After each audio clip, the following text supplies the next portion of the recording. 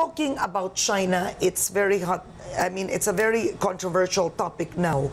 What would you do if you won as a senator with all the illegal Chinese workers in the country? Unang-una po dyan, titingnan natin yung papeles nila kung kumpleto. Eh, Bureau of Immigration. But let's say kung- hindi nga illegal. Eh, pwede natin ipa-deport. Ah, pero titingnan din natin kung yung lahat-lahat naman ng kababayan natin nagtatrabaho doon kung kumpleto sila ng dokumento. Kasi isang critical point dyan, makikita natin yan kung gaganunin natin But should we be having Chinese workers when Filipino workers need jobs? Yes. No, I mean, should we be having Chinese workers Here? when Filipino workers need jobs? Yes, kailangan natin. Kailangan natin. So.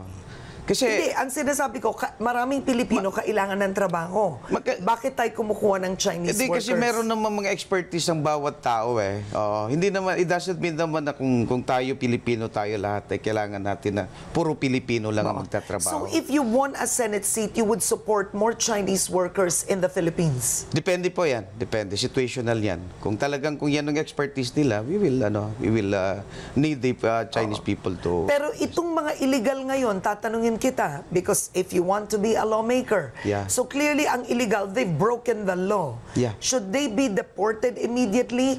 Or like Bato, ang sinabi ni Bato is gusto niya ayusin ang papeles. Yun, yun din sa atin, What- ayusin what- natin papeles nila. Uh, we cannot automatically deport them. Uh, Why not? I mean, other countries would deport Filipino workers if we're illegal. Why would we do that? Ma'am Karen, dami nating mga illegal workers, especially in, in Middle East. I've been there. Nakita ko Yes. kada, kada, karamihan doon. Kasi kung based Oh, on the... but based they're on the list- deported if they're found out, ah. Oh, pero marami pang hindi pa na no, ang tanong ko nga, yan. if we find out If we find na out, deported ang Chinese, what would you do? I-deport na illegal, natin yan. Kung deport illegal or sila. fix?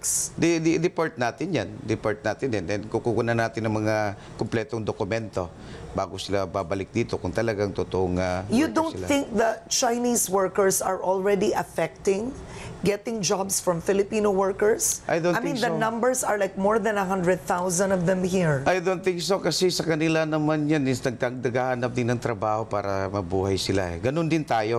So kung talaga alam natin yan kung mga mga legal papers na dapat i-comply nila to Oh. work in our country. So, uh, Congressman, we should welcome.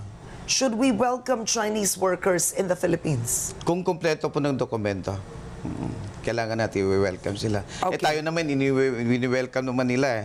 So kailangan, very ano rin tayo sa kanila. All right.